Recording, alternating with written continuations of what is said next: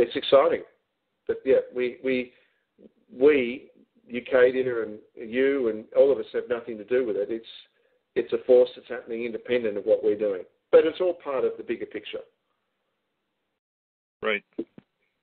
Well, it, apparently, the sun's um, coronal mass ejections are going to start increasing by the end of the year into 2012. Mm-hmm. They're talking about one that might cripple the Earth permanently. You know, I mean, knocking out power grids and stuff. Well, I've I've heard I've heard from people from all sorts that the Earth will be destroyed, or the comet will destroy us, or that there's a supernova radiation coming to the Earth, that that that the sun will burn us. I, I say this: at any given, firstly, we are within the sun. So let's get our, our concepts right. The sun, we're viewing the core of the sun. We are in the mid of the sun. We're inside the sun now. So let's get that right. The second is, at any given moment, the sun could consume us and destroy us at any given second. It chooses as a conscious entity not to do that. The sun is wholly aware of us, who and what we are and what we're doing. And under the covenant, for the first time in the history of civilization, the first time anyone has actually done this, there is a formal treaty with the sun. Correct. As there is with the earth, as there is with all the other entities. Can I ask you one more question? Yep. It has to do with chemtrails. I'm sure you're aware of what they're doing. Yep. Do you have any idea why they're doing what they are doing? Yep. Uh, it's it's uh, environmental modification. I mean, some say it's poisoning, but then they'd be poisoning themselves. Yes, they're mentally ill. It's it is a it is an attempt to modify the environment to maintain above average temperatures uh, to effectively stave off an ice age, which shows that this global warming, even they don't believe it. Mm. I have one theory. Mm-hmm. I think they are putting up a selective filter to filter out the the sun that that is mending the four DNA strands, so nobody can wake up. Uh, if they if they could if they could do that, they would absolutely go go hell for leather. But uh, I'll give you an example of how stupid their best laid plans are. People have known for a long, long time that uh, that vaccinations contained a lot of bad stuff. And they did.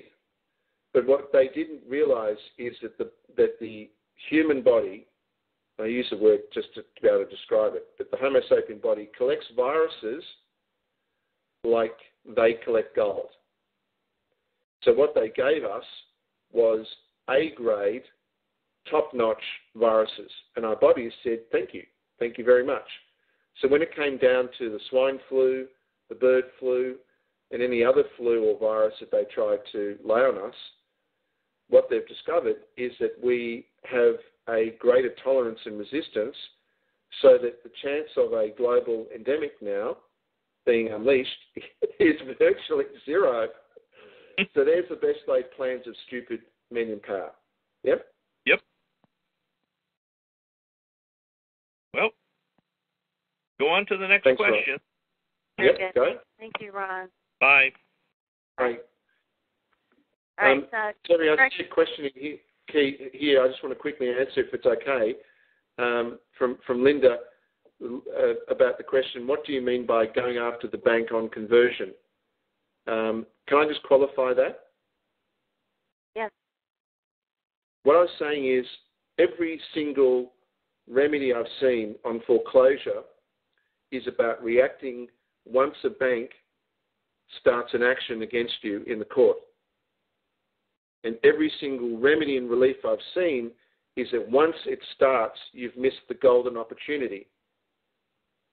The golden opportunity is the bank has absolutely frauded you, they have misrepresented, they have lied, they've cheated, they've stolen, and they've been an absent landlord.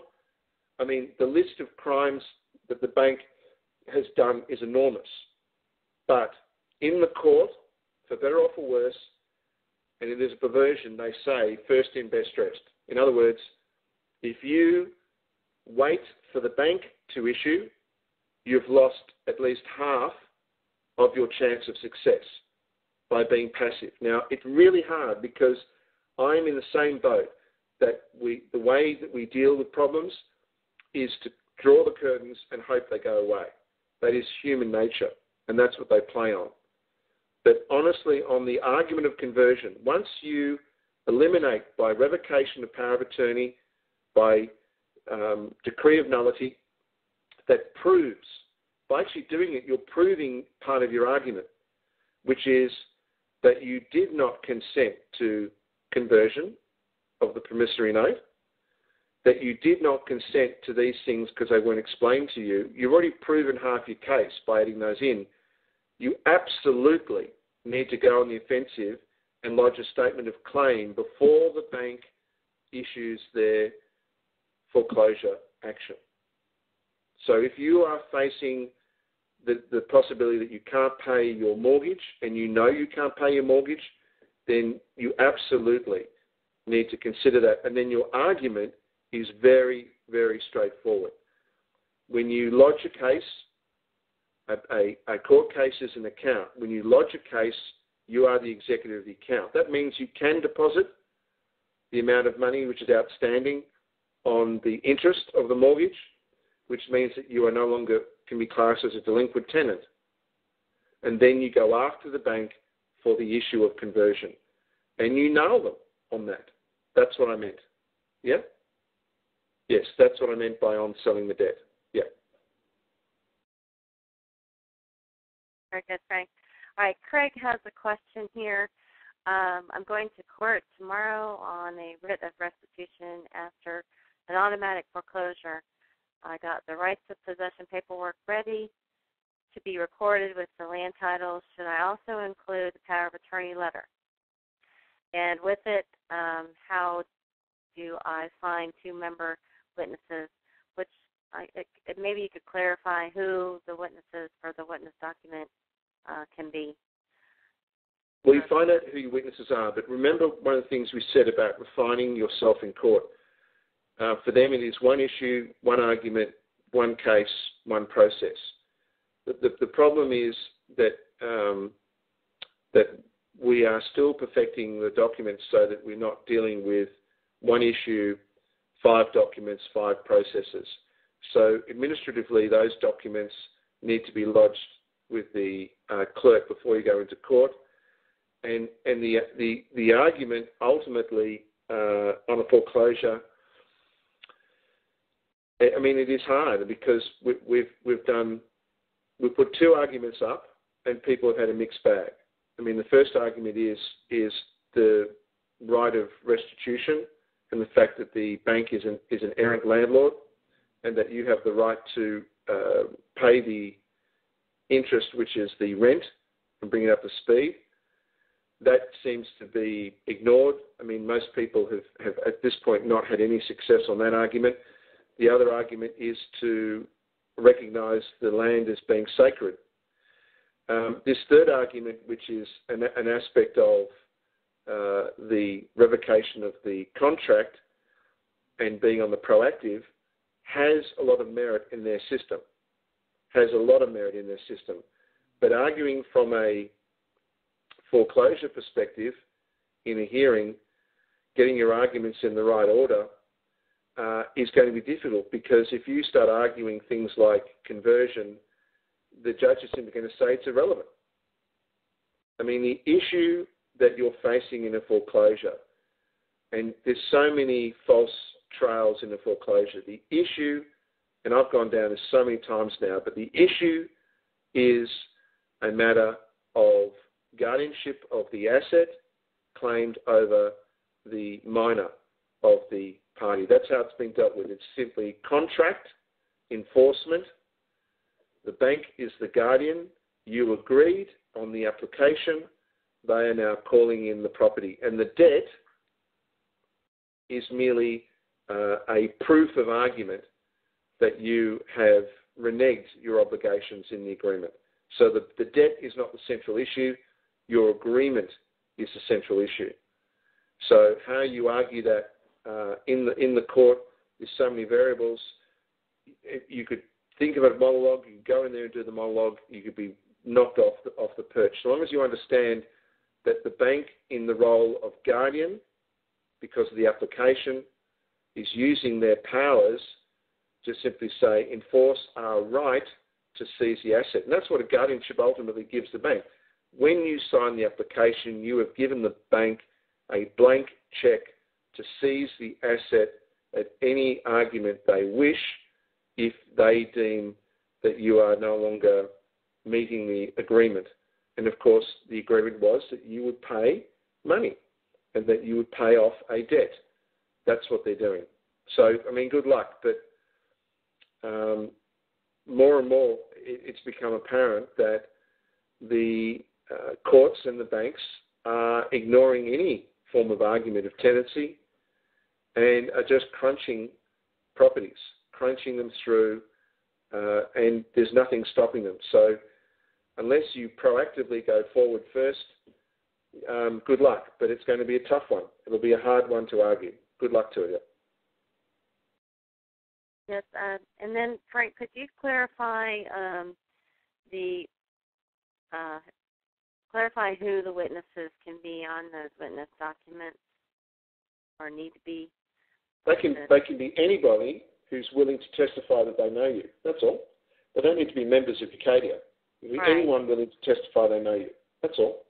I think that was just a misunderstanding of thinking there has to be has to be members of Ucadia in your area and it can be yeah. anyone that actually can would actually um, be also willing to do an affidavit of truth that they know you and know uh, your character and and uh, everything, so to speak, uh, about you, or, or at right. least for the last few years of what you might have been dealing with, or that you have um, taken care of land or property, so on and so forth.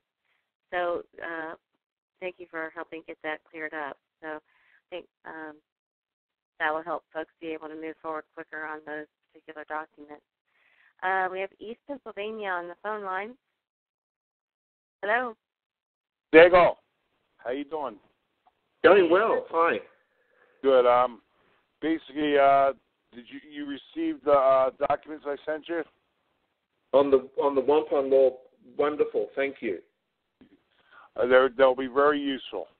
I mean, when, yes. as you read through, um, the top part was basically what what they tried to do was because they were handed to to that group, and that's the ones I, I handed to a gentleman up in uh, up in Canada, and he and he wrote rewrote them. You know, he, he didn't rewrite them. What he did was he put them in you know in much more uh, suitable form because before they were just handwritten. And um, yes and and then we went that way. But as far as the chemtrails, what I've learned out of Tonasket, uh, out of Tonasket, um, Washington, was that there's aluminum in these chemtrails. So what, what they're doing is they're trying to also make our brains in the mush, because that will get in, that will get inside the food chain, and it will slowly but surely do the same thing as as aluminum as uh, um as uh Oh, uh, Lemon pups. Yeah, yeah, yeah, yeah, and, and you know, and cause us, you know, to like, you know, about you know, in a short short age, go into uh, old old old timers quick. Yes. Um, and I, and I actually have I actually have it. Uh, they sent me a. I was sent a uh, trace of their snow, and inside the snow, that's where I found it. I, I brought it back here to centrifuged it, and it, it it definitely had a lot of aluminum in it. And I told him like you know, for what I had, like you know, it was like it was like uh 40 parts per million, which you know doesn't sound like much, but you know when you're doing it every day, yeah, it is. So, but um, that that's about it. Um, no, I really appreciate, appreciate it. And, and look, I I I thank you for all, all that you're doing in awakening um, the original